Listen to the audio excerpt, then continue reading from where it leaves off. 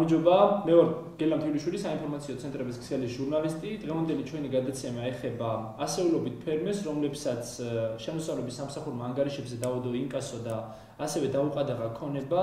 ეს ფერმერები 2014 წელს გვალვის შედეგად დაზარალდნენ და ვერ მიიღეს მოსავალი. მოსავალი თითქმის 100%-ით გაუნადგურდა ბევრ მათგანს. დაზარალებულებმა არაერთხელ მიმართეს მთავრობას იმ მიზნით, რომ მომხდარიყო სიგნალის და დედოფისწყაროს მუნიციპალიტეტების, ასევე საგარეჯოს ნაწილის სტიქიური უბედურების ზონად გამოცხადება, რაც მათ მისცემდა საშუალებას გათავისუფლებულიყვნენ მიწის გადასახადის გადახდისგან, მაგრამ მთავრობამ ამ საკითხებზე ამ თხოვნაზე არ მოახდინა რეაგირება. შესაბამისად, შემდგომ უკვე, რადგან მათ ვერ გადაიხადეს მიწის გადასახადი, შემოსავლების სამსახურმა იმოქმედა და მათი ქონება და ანგარიშები ამჟამად არის ინკასოდადებული და დაყადაღებული. გადაცემაში წარმოგიდგენთ კონკრეტულ ფაქტებს, როგორ დაზარალდნენ ისინი გვალვის შედეგად და რა გზით ცდილობენ დააღწიონ თავი ინკასოს და დაყადაღებული ქონებას.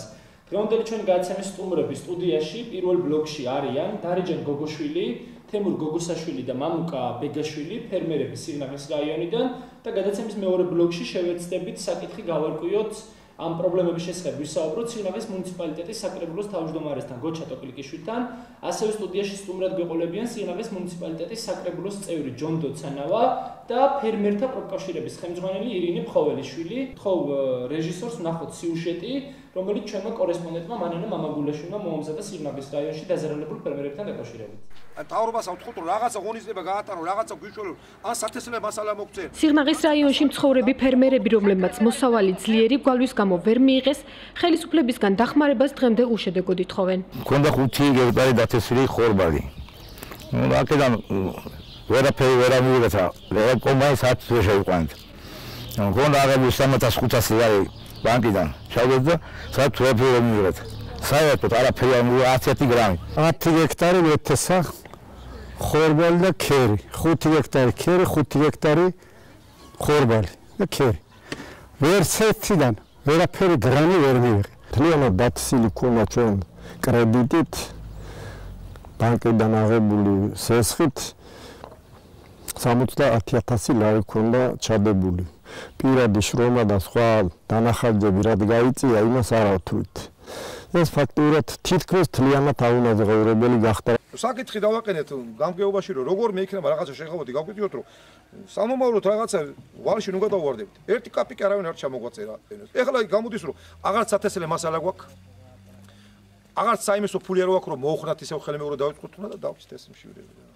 სამომავლოდ სამომავლოდ ეხლა კი რა წრეულს კი არა. მემრის თუ არა სამემრისოთ უკვე დავჭით უკვე მშვიდე ანზორ მოსეშვილსა და დარეჯან გოგოშვილს საერთო სახნავი და 230 ჰექტარით საძოვარი აქვთ. მათი თქმით გვალვამ ისინი 100%-ით დააზარალა და ახლა გადასახადის გადახდას ვერ ახერხებენ სახნავი დათესილი ქონდა აგროვადებში ხორბალი ქონდა დათესილი და გვალვის გამო და ასეთი საშინელი სტიქის გამო რაც 2014-15 წლებში ჩვენ თავს დაგვატყდა ისა არანაირად არავითარი არაფერი მოსავალი არ მიგვიღია. თითქმის კომბაინი თითქმის კი საერთოდ კომბაინი არ შემოყვანი რაც კანონები გვეკუთვნის 200 საგადასახადო კომპლექსის 206 შეაბუქით რაც გვეკუთვნის კანონით რომელიც კანონმდებლობა დაგვეწოდეს აი ამ კანონის შესრულებას მაგათავისუფლება გადასახადების სხვა არაფერს საგადასახადო კოდექსის მიხედვით მიწაზე ქონების გადასახადისგან თავისუფლდება სასოფლო სამეურნეო დანიშნულების მიწის ნაკვეთი, რომელზედაც მისაღები მოსავლის ნახევარზე მეტი განადგურდა სტიქიის შედეგად. თუმცა ეს დადასტურებული უნდა იყოს ადგილობრივი თვითმმართველობის წარმომადგენლობითი ორგანოს მიერ გაცემული ცნობით. სიღნაღის მუნიციპალიტეტის საკრებულოში აცხადებენ, რომ ფერმერებმა მათ აგროვადების დარღვევით მიმართეს, რის გამოც მათი გადასახადისგან გათავისუფლება ვერ მოხდა. მათივე განმარტებით არ არსებობს იმის დამადასტურებელი ფაქტი, რომ ფერმერების მოსავალი სწორედ გვალვის გამო განადგურდა. მარტო შენ ხო არ ახარო ვალიკო ეგრე? ეს თელი სოფელი ვართ ესე. რა ვქნათ, რა გზაზე და დაზარალებული ფერმერები დახმარებას დღემდე ითხოვენ, თუმცა როგორც აღმოჩნდა, მათი პრობლემების მოსასმენად პასუხისმგებელმა ორგანოებმა ჯერ ვერ მოიცალეს. ვინმე თუ იყო მოსული, თუ მოისმინეს თქვენი პრობლემები? არავინ, არავინ, არავინ, აციშვილი არავინ არ მოსული. არავის არ აინტერესებს. არავის არ ბრუნდებით სტუდიაში ჩვენი გაცემის სტუმრები არიან ფერმერები სიგნალის რაიონიდან, რომელიც არის დაზარალებული გვალვის შედეგად. თქვენ მოусმინეთ ახლა ჩვენ სიუჟეტს, სადაც სიგნალის მუნიციპალიტეტის საკრებულოზე დააყრდნობით, აა ჩვენი კორესპონდენტი ამბობს, რომ ესე იგი შესაძლოა გვალვის გამო არც დაზარალდით? გვალვის გამო დავზარალდი ზუსტად, იმიტომ რომ ყველაფერი აბსოლუტურად აგროვადებში ქონდა დათესილი. 10 ჰექტარი ქონდა 10 დათესილი ჰექტარი. კულტურა და 10 ჰექტარი ხორბალი ქონდა დათესილი, საიდანაც ერთი მარცვალი არ აგვიღია თვითონ საკრებულოს დეპუტატებმა, რომელმაც კომისია გამოყეს, ჩამოვიდეს და ნახეს ჩვენი ნაკვეთი, რომ კომბაინი არ იყო შესული, სურათებიც გადაუღეს, რომ საერთოდ ერთი მარცვალი მარცვალს ვერ აიღე, ვერ ნახავდნენ. ეს ჯერ კიდევ ოქტომბრის თვეშივე იყო ხელუხლებელი ის ჩვენი 10 ჰექტარი. ან 11 ივლისს მიმართით განცხადებით, რომ თქვენი მოსავალი, რომელიც გეთესათ დიახ, განადგურდა. რა თქმა უნდა. 100% დიახ. და ითხოვდით საკრებულოს გამგეობას გათავისუფლებას. შესაბამისი რეაგირება, რომ მომხდარიყო თქვენი მიწის გადასახადებიდან გათავისუფლება. ქონების გადასახადიდან გათავისუფლება. შეტანილ განცხადებაზე სამი თვის მერე მივიღეთ საბოლოო პასუხი. თუმცა მანამდე იყო რაღაც პროცედურა. მანამდე იყო შუალედური, კი, დიახ, დიახ. შემოწმდა კომისიის წევრებმა დაადასტურეს დაადასტურეს 100%-იანი ზარალი, მიზეზად შიგნით კომისიის აქტში წერია რომ არის გვალვა. იქ ო, სხვათა შორის იმ აქტშიც არ არის მოხსენებული კალია საერთოდ. ვითომ კალია არ იყო. აა მაგრამ საქმე იმაშია რომ ან თქვენ დაზარალდით როგორც გვალვით ასევე ასევე კალიების შემოსევით, რა თქმა უნდა, რა თქმა უნდა. მთელი ეს სოფლის ტერიტორიები, ეს არის ბოდბე, მაღარო, ულიანოვკა, ბოდბისხევი, ივრის მხარეს, რაც არის უკანი მხარის ნაკვეთები, ეს სულ გადაჭემა პირწმიდად კალია. რა თქმა უნდა. აი მე აგერა მაქვს აქტები სოფლის მეურნეობის სამინისტროდან ოფიციალური წერილიც მაქვს. და ხუთჯერ არის შეწამლილი სოფლის მეურნეობის სამინისტროს მიერ ჩვენი ნაკვეთები კალიაზე. აქტში განცხადებით რომ მივმართეთ დავწერეთ რომ ზარალი მოგვადგა გვალვით და კალიით. მივმართეთ ზარალის ზარალის კი არა ქონების გადასახადი და გათავისუფლების სასოფლო სამეურნეო მიწას თლიანად იქ საერთოდ ჩვენი ხელმძღვანელობა არ განიხილავს ზარალს საძოვარში. საძოვარი სასოფლო სამეურნეო მიწა, იმის პროდუქტი ბალახია და ჩვენის არ მიგვიღია დავკარგეთ. ვიზარალეთ როგორც სახნავში, ისე საძოვარში. აბა ბატონ ამკას მოусმინოთ თქვენ რა კულტურა ქონდა დაცილი რამდენი ჰექტარი და რა ზარალი მიიღეთ 120 ჰექტარი მქონდა დაცილი, საერთოდ ვერაფერი ვერ მიიღე. მქონდა დაცილი 70 ჰექტარი ხორბალი, 17 ჰექტარი ქერი, რაფსი მქონდა დაცილი 12 ჰექტარი, საფლორი მქონდა, შვრია მქონდა და უძესულზე.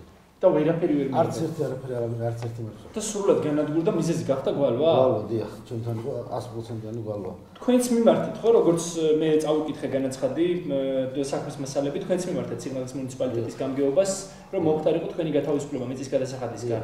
და შემდგომ აი როგორ განვითარდა მოვლენები რომ მ, მოგვითხროთ 11 ივლისს შევიტანეთ პირველი განცხადება, რომელიც მიგავია ხელში.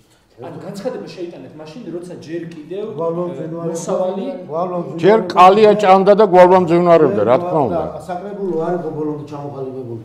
და საკრებულოს ო, წარმომადგენლები ცდილობენ რომ ჩვენ დროულად ვერ შევიტანოთ. ჩვენ პირველებმა შევიტანეთ, როცა გვალვა მძინვარებდა და ჩვენ ვავაცნეთ მოსავალაობებელი ნაკვეთები, სადაც კომბაინი არ შეუყვანია. 2012 წლამდე ეს იყო გამგეობის ფუნქცია.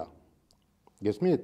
და 2012 წლის მერე ეს გახდა საკრებულოს ფუნქცია. ჩვენ განცხადება რომ შევიტანეთ, ჯგუფური განცხადება გვაქვს შეტანილი ხუთ ფერმერს.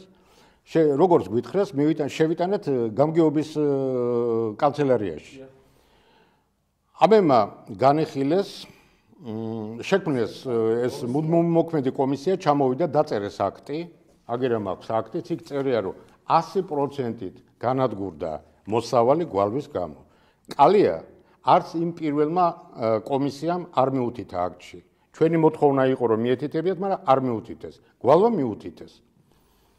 ჩვენ ჩავთვალეთ რომ ესეც კი საკმარისი იქნებოდა კანონის შესაბამისად. და ამიტომ დევნა აღარ დაგვიწყია მაგაზე მაგრამ საქმე იმაშია რომ როდესაც მივიღეთ აქტი ხელზე შემდეგ უკვე კანონის მიხედვით უნდა მივმართოთ საკრებულოს რომ ცნობა ავიღოთ გადასახადიდან განთავისუფლების შესახებ რომელიც მე რომ უნდა საგადასახადოს წარედგინოს ეს არის საფუძველი გათავისუფლება. კი საფუძველია ეს ეს დოკუმენტი.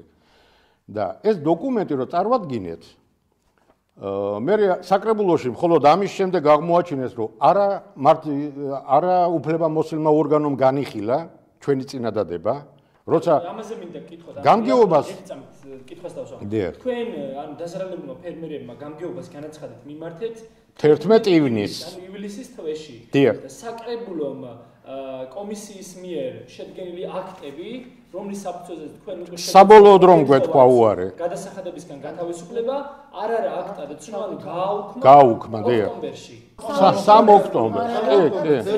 გამოდის რომ სამი თვის შემდეგ. დიახ. ამ სამი თვის განმავლობაში საკრებულოსთვის არ იყო ცნობილი, რომ ამ ტიპის კომისია მუშაობდა და ზარალის შესწავლას და დაზუსტებას აკეთებდა? ეს ძალიან მარტ მარტივი იყო. ეს ძალიან მარტივად უნდა გა- გამგეობას რომ რამდენად ეს არის არისო ადრესატი, უნდა ეს კანონით ესეა. უნდა მიემართა საკრებულოსათვის. კი.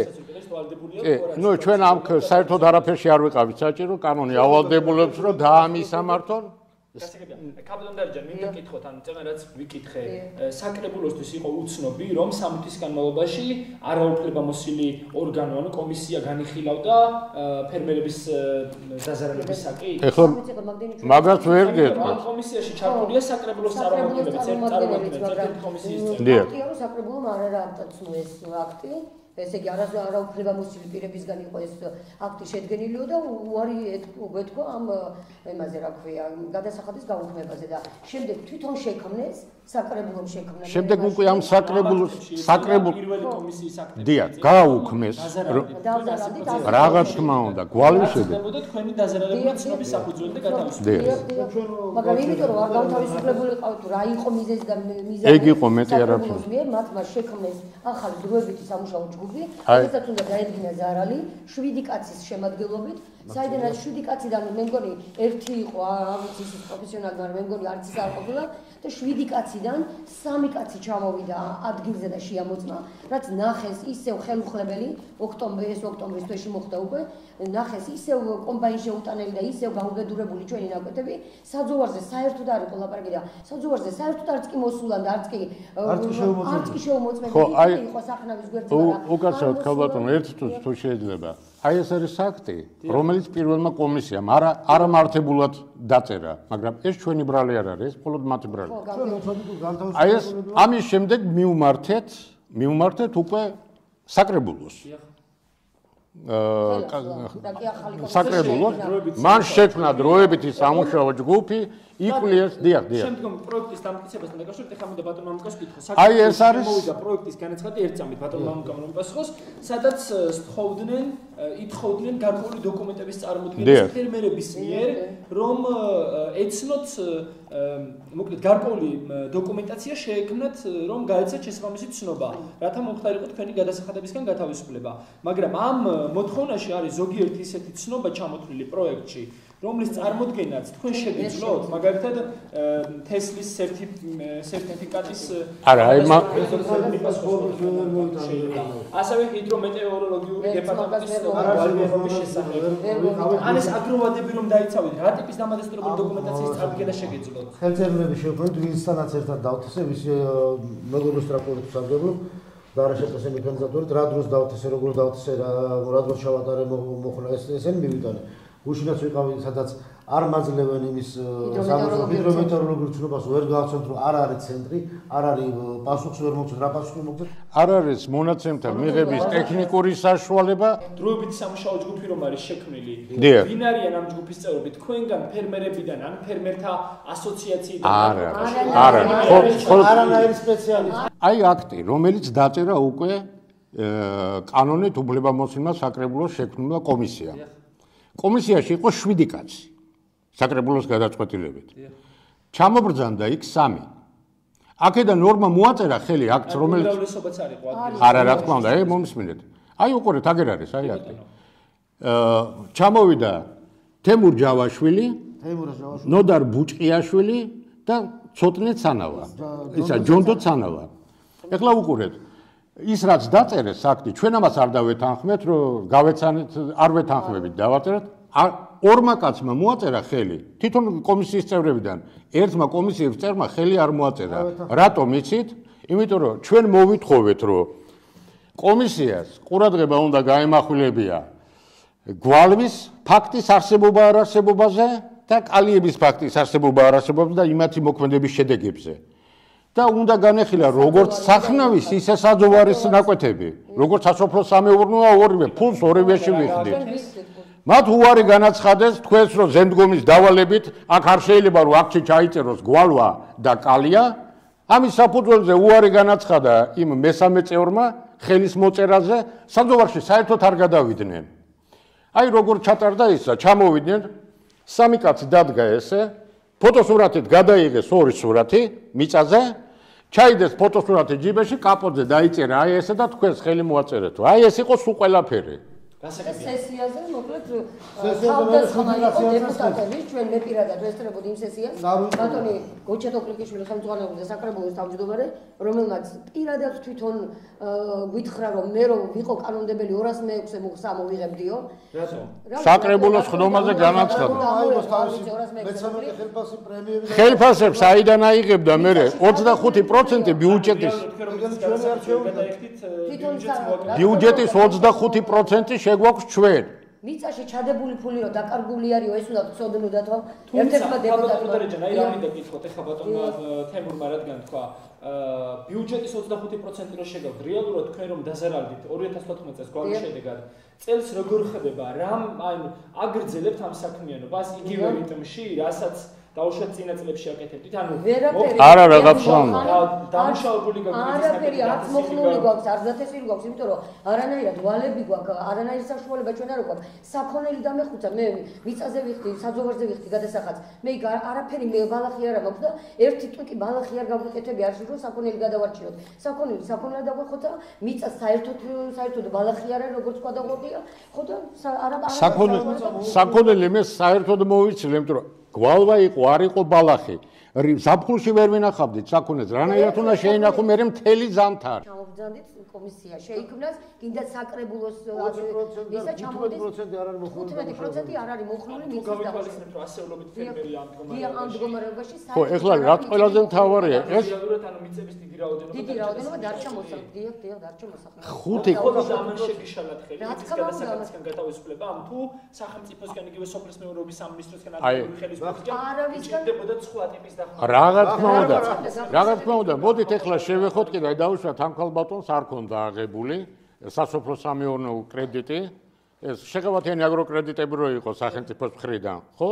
აი მაგალითად მე მქონდა ეს კრედიტი. ეს კრედიტი ჩავდი ამ ნათეში, მოსავალი არამეღია აგერ 1 2 3 აქტია, ხო? გაკეთებული. ის დავანებოთ იმას, რომ მიზეზე არამეღია მოსავალი, ხო? არ ქონა არანაირი შემოსავალი. ეხლა ბანკი მთხოვს მიწის გაყიდვას და სახელმწიფო მთხოვს მიწის გაყიდვას. ერთის ვალიც მაქვს მეორესიც. გესმით? თორე რა ვთქვათ გაკეთრების საფრთხის წინაშე. ნუ აბა აბა აბა მარა იქნება. მე მე მე ეხლა 60 წლის კაცი ვარ, გესმით? მთელი ცხოვრება ამ ქონებას ვაგროვებდი, რაცა მაქვს. გესმით? და ეხლა უნდა გამიცამწერონ ერთი ფორს მაჟორის არაღიარების გამო. ეხლა მოდი სხვა რამეზე გადავიდეთ. ჩვენ არ დავეთანხმეთ საკრებულოს გადაწყვეტილებას, მიუმართეთ სასამართლოს, როგორც წესი და რიგია. ამ ხუთმა ფერმერმა. 5000 ფერმერია ჩვენაირი დაძარალებული. სასამართლოში არავინ არ მიდის, რატო? იმიტომ რომ იმედი არ აქვს ამ თავრობის. არავინ არ მიდის სასამართლოში. ეხლა უყურე, ერთი წუთი, ერთი წუთი, დამათქილობრივი ხელისუფლების მხრიდან, ანუ რეალურად ჩვენ მივმართეთ ფინანსთა სამინისტროს მიდა მაყურებელსაც მივაწოდოთ ეს ინფორმაცია და ვთხოვეთ განმარტება გაეკეთებინათ ამ ფერმერების დაზარალებასთან დაკავშირებით რატომ არ გაითვალისწინა მთავრობამ მათი მდგომარეობა და რატომ არ მოხდა შესაბამისი მექანიზმების გამოყენება რომ მომხდარიყო მათი მიწის გადასახადისგან გათავისუფლება და ფინანსთა სამინისტროდან მივიღეთ შემდეგი განმარტება რომ ეს მთლიანად პირველ ეტაპზე დამოკიდებული იყო ადგილობრივ მუნიციპალიტეტზე კერძოდ საკრებულოზე რომელსაც უნდა გაეცა შესაბამისი ცნობა რომ სტიქიის შედეგად რაღაც თქმა უნდა. მაგრამ გეუბნებით ვიღაცა საკრებულოს უკრძალავს ამდაგვარი საბუთების შექმნას. კომისიის წევრებმა აი ცოცხალი ადამიანი აი მე კიდევ ერთ-ერთი კომისიის წევრია მოწმე. მეორე ბლოკში ვისაუბროთ ადგილობრივი საკრებულოს მხრიდან მიიღეთ ანუ რეალურად მე რასაც ვხედავ არანაირი მხარდაჭერა არანაირი დახმარება. ხოლოდ და მხოლოდ ერთი თუთი რა ხოლოდ და მხოლოდ წინააღმდეგობისა და ხელიშეშლის და უპატივისცემლობის მეტი არაფერი ჩვენ მაგათგან არ მიგვიღია თქვენ რასით ბატონო მამა იგივე სულ რაც რაც არანაირი არანაირი არანაირი ხარდაჭერა და ეს რომ რატო დათესეთ არის ის რომ მიწა ზარალია. და დამოკიდებულება არის დამოკიდებულება არის სინიკური. გასრულებინოთ ისაუბროს ბატონო ეს იყო დაცინვა. შენ ეს მიწა თუ ზარალიანია ყველა იმ საკრებულოში ხო ვერ დავსწრებ და ვიღაცამ ხო რაღაც უნდა აკეთოს. შენ ჩემს მეროს მოდიხარ, წამოგიყვანო, ნახე რა მომივიდა და შენ დამცინე. რატო დაცი ამდენი რომ არ იცოდი რომ მიწა ზარალიანია? გარდა იმისა რომ მივმართეთ სასამართლოს, ხო? აა მივმართეთ სოფლის მეურნეობის სამინისტროსაც. ეხლა რაშია, როგორი სტრატეგია ისა, ტაქტიკა აქვს არჩეული ადგილობრივ ხელისუფლებას? არ იყო გვალვა, არ იყო კალია, ჩვენ ეს სიზმრათა გვაქვს ნანახი, ეხლა ალბათ ჩარებსავდებთ, იმიტომ რომ ფულის გადახდა არ გვინდა. ხო, რადგან წინა პირველ ბლოკში წაკეთებდნენ ამაზე აქცენტს, გვაჩვენოს კახცა ინფორმაციო ცენტრის 2014 წლის არქივიდან გვალვის დამადასტურებელი ვიდეო მასალა. ხავ რამოდენიმე თავთავს, თუმცა კი ეს თავთავი აღარ არის, ეს არის თავთავის, ასე ვთქვათ, იმიტაცია. მოუფშნიტაო. და ნახავთ, რომ სამი თავთავიდან რამდენი მარცვალი დარჩა. და ეს მარცვლებიც არის აბსოლუტურად დამშეული. გული საერთოდ არ აქვს. ამდენად აქ არა მარტო გაწეული დანახარჯის დაფარვა, არამედ ელემენტარულად მარტო კომბაინის ხარსაც ვერ ვერ დაფარავდა. მე პატრონე ამის გულისთვის ყანა დატოვა აუღებელი. მსგავსი შემთხვევები არის საკმაოდ დიდი, როგორც დედოფლის ყაროს მუნიციპალიტეტში, ასევე სიღნაღის მუნიციპალიტეტში და იმ გარკვეულმა ნაწილმა, რომლებმაც შეიყვანეს კომბაინები, მიიღეს 150 კილოდან 500 კილომდე. ეს არის ზღვაში წვეთი. აუცილებლად უნდა შევეხოთ ერთ დოკუმენტს, რომელიც ოფიციალურია. 2014 წლის 5 დეკემბერს პარლამენტში წლიური ანგარიში ჩააბარა სოფლის მეურნეობის სამინისტროს მცენარეთა დაცვის სამსახურმა, სადაც იქ ყელყელაობით განაცხადეს, რომ დედოფლის ყაროში და სიღნაღში იყო დიდი ზარალის მომტანი კალის შემოტევა და სახელმწიფო შეწამლა 55600 გექტარი მიწა. თუ კალია არ იყო, ვის დასდევდა სოფლის მეურნეობის სამინისტრო ჩემთან ერთად აი აქტები. აი უყურეთ. აი აქტები. სოფლის მეურნეობის სამინისტროს გაცემულია. უყურეთ, ასლები გამოვითხოვე უკან, იმიტომ რომ საკრებულოში ვერ გავაგებიეთ, რომ კალია იყო, ეს რეალობაა. გესმით, აი ამ დღეში ვართ. გუშინ ვიყავით კანცელარიაში. გვალვის გარდა კალია ფაქტი პრობლემა შეგიქმნა. კალიამ გადაჭამა ყველაფერი, რა თქმა უნდა, ჯერ იყო კალია და შემდეგ დაასრულა ყველაფერი გვალვა. კანცელარიაში. რამე რა პასუხი იღეთ თავი? არანაირ. იგივე არის. რა, ანუ რა, ყურადღებას არ გაქცევე? 20 21 ნოემბერს მიუმართეთ პრემიერ-მინისტრს სახელმწიფო ჩვენი პრობლემა არის რაში რომ? ადგილობრივი ხელისუფლება არადარ აღიარებს გვალვას და კალის ზარავს. ამის გამო ისინი ყოველნაირად ცდილობენ რომ არც ერთ დოკუმენტში ეს არ მოხვდეს და ამის საფუძველზე გვეუბნებიან უარს ცნობის გაცემაზე. მიუმართეთ 20 წინა წლის 21 ნოემბერს. თავრობის თავმჯდომარეს თხოვნით დაგვიდასტუროს. საქართველოსი კალია და გვალვა იყო ნამდვილად თუ არ იყო. და პასუხი პასუხი დღემდის არ არის. გუშინ ორი თვე გახდა ორი თვე გახდა ვიყავით კანცელარიაში. კანცელარიაში ვიყავით გვითხრეს რომ ჩვენ ეს გადავაგზავნეთ კახეთში. კახეთი ალბათ გაარკვევს რაიონში და მოგცემენ პასუხს. ჩვენ პასუხი გვინდა სარგებლობრივი ხელისუფლების კი არ უნდა, არამედ ცენტრალური მთავრობა. რაღა თქმა უნდა, რაღა თქმა უნდა. ეხლა დამაგვირგვინებელი, ეხლა რომ საშუალება იყოს, არა? საშუალება რო იყოს, თუ თქვენ გაქვთ ამის სურვილი და საშუალება, სალკე თუ დავჯდებით ერთ თემაზე. ეხლა მიმდინარეობს ფერმერების მიწების ხელახალი გადანაწილება პარლამენტის, თავრობის, ადგილობრივი ხელისუფლების მონაწილეობით. რას ნიშნავს ეს? ეხლა ბოლო ლურსმანი ჩაარწეს ჩვენს კუბოში. ეხლა გინდათ ვინ ჩაწება მაკუბოში, მაგას ჯერ კიდევ ნახავთ. გუშინ გიგლა აბულაშვილმა გამოაცხადა საქვეყნოდ რომ თუ მიწას არ დაამუშავებს ფერმერი, ის დაჯარიმდება. თუ ჯარიმას არ გადაიხდი, მაშინ მიწას წაგართმევ გაგიყიდიან და რა ქვია, გადაიხდიან ჯარიმას. ხურდა რაც დარჩება ამათი გაყიდული მიწიდან. იმას მოგცემენ და დავრჩებით ესე. ეს არის ცდელობა. ეხლა რა არის? წვრილ წვრილი ნაკვეთები რომელიც გაბნეულია მთელ საქართველოში პრივატიზაციის შემდეგ იქ 0.5 და 1 და 25 გექტრები რაც დარი ამ ნაკვეთების კონსოლიდაცია დიდ მეურნეობად არის შეუძლებელი. მაგრამ სამაგიეროდ მე მაგალითად ხო? მაქვს 161 გექტარი მიწა. ჩემსას ჩემისთანაც 2-3 კაცს გააკოტრებენ და ერთ კარგ მეურნეობას შეიქმნია. ის ფიქრობთ რომ სახელმწიფო ამიტომ აკეთებს ასე მიზანმიმართულად იქცევა? ეს ფიქრო? რა თქმა უნდა. აუცილებლად ნამდვილად ეს ასეა. ოფიციალურად განცხადებით მიმართეთ მუნიციპალიტეტს, რომ განემარტა არსებობდა თუ არა, როდესაც ძვინვარებდა გვალვა და კალია სიგნალის რაიონში რაიმე სახის მიმოწერა ცენტრალურ ხელისუფლებამ ამისთან ამასთან დაკავშირებით. ჩვენ გვეუბნებოდნენ რომ მიდის გაცხოველებული მოლაპარაკები დეპუტატის სამინისტროს რწმუნებულის დოკუმენტები არსებობენ აი აი პასუხი აი წაიკითხეთ რა წერია? ანუ სიგნალის მუნიციპალიტეტის საკრებულო წერთ რომ ფერმერებს არა მხოლოდ თქვენ რომ სტიქიურ უბედურების ზონად გამოცხადებასთან დაკავშირებით წარმოებული მიმოწერა არ არსებობს. არ არსებობს. არავის ამაზე არ უფიქრია. რაც შეიტანეთ ადგილობრივ თვითმმართველობის ორგანოებში ოფიციალურ დონეზე რეაგირების საფარია. ეს არის პასუხი ოფიციალური, აი ახლა ეს ბატონის შემოვა თქვენთან. ეს ესეც ძალათ ბოლოს ბოლოს ამოვიგეთ ემა ამაგრა რა რა 12 იანვარს იგი ჩვენ შევეცდებით გადაცემის მეორე ბლოკის ნომრებთან გავა. როდესაც როდესაც კახეთი როდესაც ჩვენი მიწები იწვებოდა, აი ეს ვაჟბატონი, არა? ერთი წერილი არ აქვს მიწერილი მთავრობაში და პარლამენტში.